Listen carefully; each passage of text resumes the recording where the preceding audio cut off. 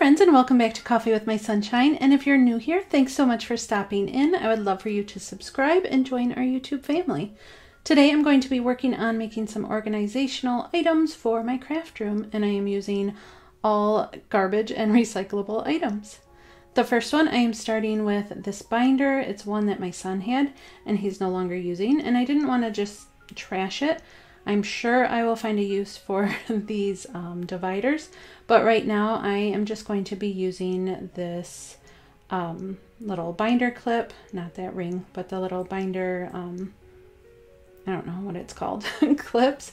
So I'm just going to try and remove it, and it took a couple tries, but this is how I found the best way to remove it. I just used a screwdriver and pried the first side up and then put some muscle into it and, and pulled up the second piece.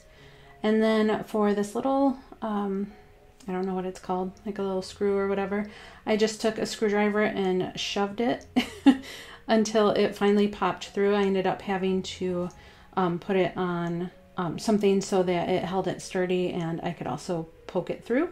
Then this is a super simple DIY. Um, but I thought it would be really cute and helpful. So I'm just taking double-sided sticky tape for now.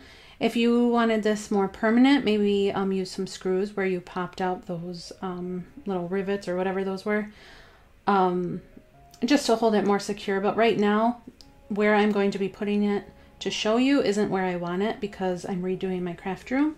So I thought it would be cute to hold um, some paintbrushes or anything with like a hole or a little hanger. For this next one, I am using this egg container and I thought it would be really useful. I am also using this spray paint to spray paint it white. It would be better if it was already white, then I wouldn't have to use spray paint, but whatever.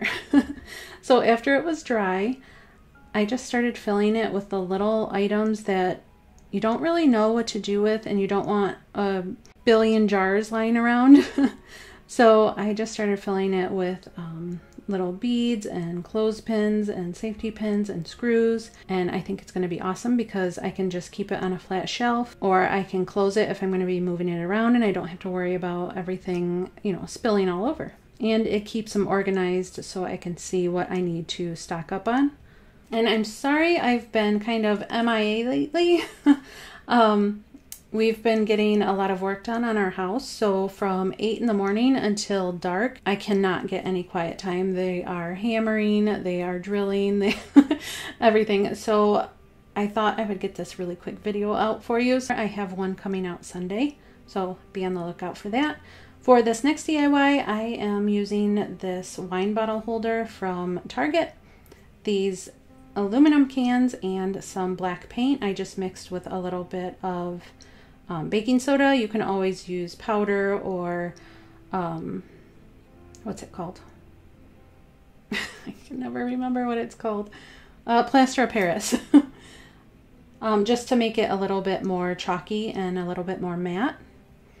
So I just went over the whole wine bottle holder and gave it a good coat of black. And then I'm doing the same with these um, cans.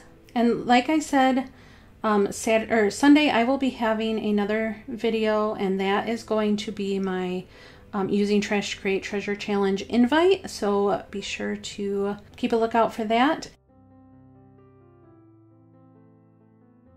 So after the black paint has dried, it wasn't fully dry, so it's all over my fingers, but I started painting the tops of them um, different colors because this is going to be where I store my markers I'm obviously going to need more or different kinds of marker storage because I have a boatload of them.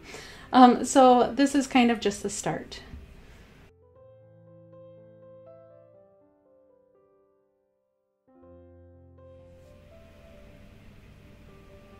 And this will help keep me really organized and make it so that I put the markers back where they're supposed to be.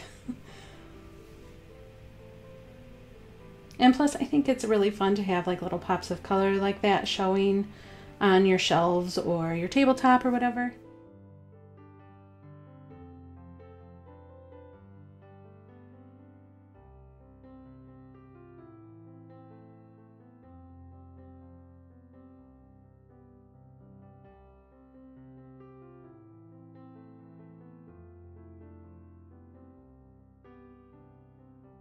So then just to give it a little bit of something and a little cushy handle so that, you know, when you're carrying it around, it's nice and soft. I just wrapped it in some of this rope. You can wrap it in twine or ribbon, whatever fits your space.